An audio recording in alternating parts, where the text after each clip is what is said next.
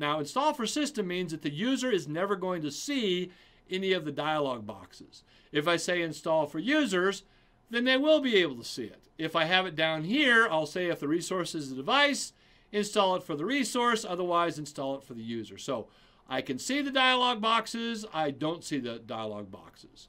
Um, I, if I'm doing an install for system, I can also specify whether or not a user has to be logged on. I can say they have to be logged on, I don't care, or they can't be logged on. Those are my three options. Then I can say the installation program, is it visible or is it not visible? I can say it's maximized, it's normalized, it's minimal, minimized, or it's hidden. You got to be really, really careful when you push this out to user accounts if I have this hidden, because if it pops up a dialog box that asks a question, they can not only not answer the question, they're not even going to see it. Now, if I go in and I say, um, I want to push this out for a system, what, uh, and I want to do it only if the user's logged on, and then I say it is maximized, even though I'm pushing it out to a system, they will still be able to see it. Now, it doesn't necessarily mean that they can interact with it. A lot of times, these installations, they run completely unattended. But here's the thing. If I have an installation that's failing, just doesn't work. And I don't know why. I've done everything and I don't know why. Push it out to the system, but make it visible. Then set up that system and watch the deployment happen. You will be able to see the dialog boxes as they pop up, and even if you don't have to click on them, at least you'll be able to see them. Then you go in and you're like, oh, the dialog box, it's asking a question. No wonder it's failing. It's looking for interaction, but we don't have any type of interaction built into it. So that's how you can determine whether or not this is going to work for you. Um, I can put in a maximum allowed runtime. By default, it'll be two hours. I can also put in an uh, estimated installation time. That's useful because we can put in what's called maintenance windows. And if I have a maintenance window and my, uh, my experience is it's going to take about 40 minutes to install this, but I don't have 40 minutes left until the maintenance window, I will not install it. So this is this is useful information. It'll tell you about how long it's going to take, what the maintenance window is, and the maximum amount of time. And if it's too close to the end of that maintenance window, it simply won't do it. Now it'll say, what do you want to do? Uh, regardless of the intended behavior, it'll say do it based on return codes, or once it's done, do whatever you want.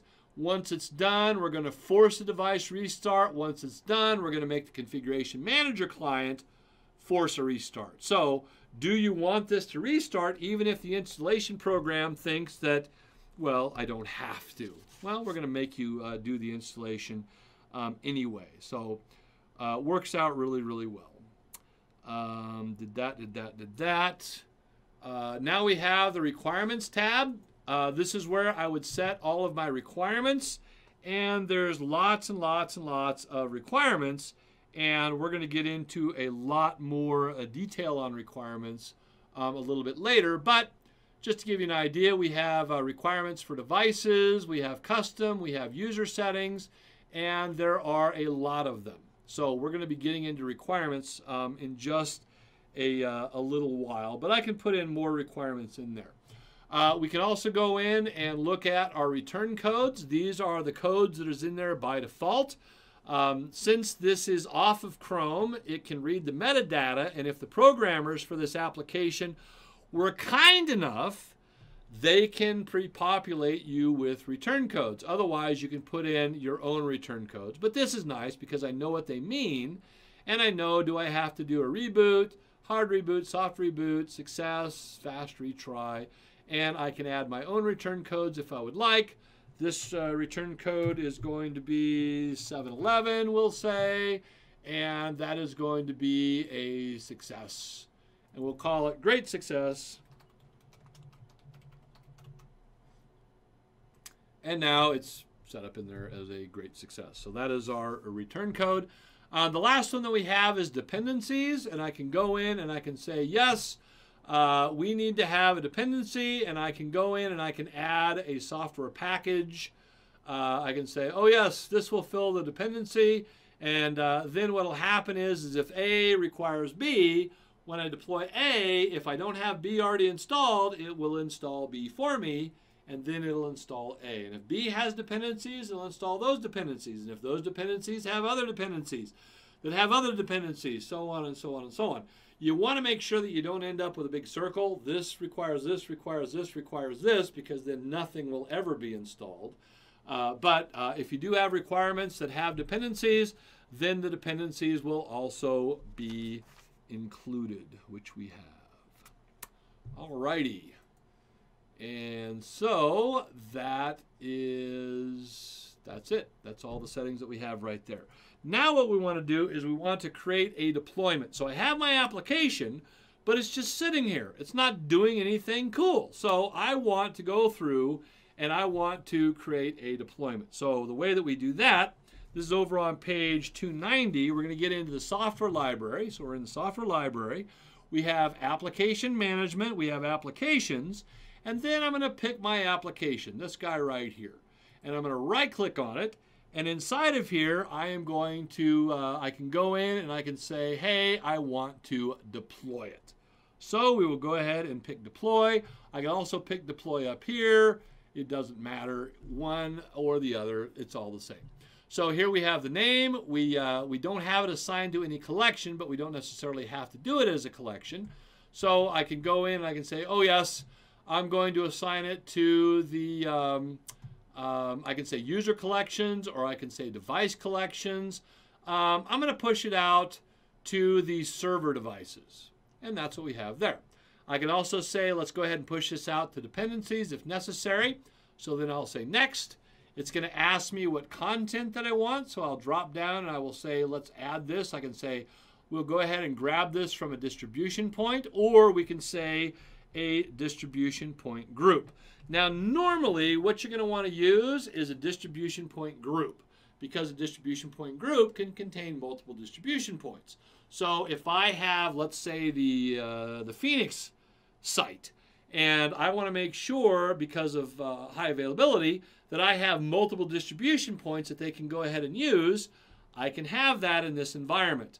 And uh, what I do is I make them all point of a distribution, part of a distribution point group, push the application out the distribution point group, and it goes to all the distribution points. We'll show you how to make a distribution point group in just a moment. Right now we're dealing with uh, distribution points. So I can add a distribution point. It'll say what distribution points do we have out there, and then I would go in and I would pick one. And uh, then um, it'll go ahead and populate which uh, distribution point or distribution point group we are going to go through and use. Um, then, uh, let me go ahead and cancel out of here. I'm going to add a distribution point group. We'll grab that one. So now I have my distribution point group. Doesn't have any members, that's okay. Uh, then we'll get into our deployment setting. This is going to be an install action, but we can also do an uninstall if we need it. We also have a purpose where we're advertising it. It's available, but it's not mandatory. If we want to make it mandatory, we say it is going to be required. If we have it as set to require, um, look at the other options that we have. I can say, let's pre-deploy it. So even though you haven't installed it yet, we will go ahead and pre-deploy it to your primary devices. We can also send wake-up packets. So if I have clients that are off, I can send those magic wake-up packets to wake them up. And I can also say, do we want to allow people that have a metered connection to be able to download this? Metered connections are where I have told Microsoft, oh, by the way, I'm on a metered connection, so don't push updates to me automatically because I have to pay for all of that traffic. Uh, this is useful, for example, if I'm on a cruise ship my data centers on the cruise ship, and I don't want them just downloading stuff whenever. This allows me to have control on when I want that to, uh, to pull down. So that is uh, what we have there. Then we go next and we have the scheduling. We can do universal time or I can do it based upon a time zone. I can schedule when it's available. By default, it'll be available as soon as possible. Uh, if I want to install it and make it a requirement, I can specify when we schedule it. I can also delay the enforcement based upon user preferences, and I can have a grace period that I've predefined. So I can say, okay, we'll let you do that. Uh, next we have is the user experiences. Do I notify you? It'll be in the software center and show notifications. Or we just do Software Center and only show me in the notifications once the computer restarts. Or we just simply hide it. Uh, if we reach the deadline, what do you want to do? We can install it. We can uh, restart it if we need to. Um, and we will commit any changes uh, basically, basically during the maintenance window. So if normally it ends at midnight, but the maintenance window isn't until 2 o'clock in the morning, at midnight it's not going to try and do the installation. It will wait until 2 o'clock in the morning. So we have that. Uh, we also have alerts that can say uh, what's the threshold. In other words, how many do you expect to be able to have to call it a successful deployment? I want to be able to have 900 of these installed by a certain time on a certain day. You can pick and choose. Um, you can also say what's the threshold for a failed deployment. If I have any more than six machines that can install it, I will consider that a failure and I will hang my head in shame. This is mostly for reporting. I can also say, do we want to do maintenance mode? So if I have a system that's being actively managed by a configuration manager, uh, or I'm sorry, by operations manager, then I can say, do we want to do maintenance mode? Now, here's the gotcha. It says enable maintenance mode. It doesn't enable maintenance mode. What it does, it shuts off reporting. So essentially, it's sort of like breaking into somebody's house and pulling out their phone. They can't call the cops, so apparently we're in maintenance mode. Same thing here.